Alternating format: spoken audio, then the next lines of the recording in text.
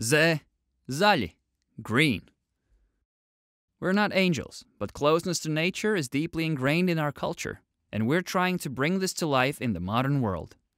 A recent study ranked Latvia as the second greenest country in the EU, thanks to our abundance of forests and fresh water, low output of greenhouse gases, and high usage of renewable energy.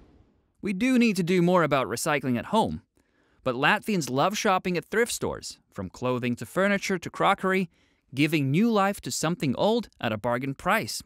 It's a national obsession. And hundreds of thousands of people pitch in at the annual Big Cleanup Day, picking up the bottles some of us carelessly leave behind after a celebration in the forest.